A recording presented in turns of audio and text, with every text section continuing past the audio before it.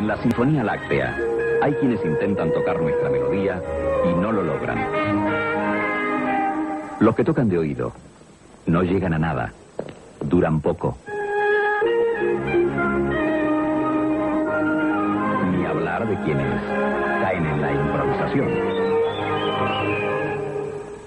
Quien desafina no puede engañar a nadie.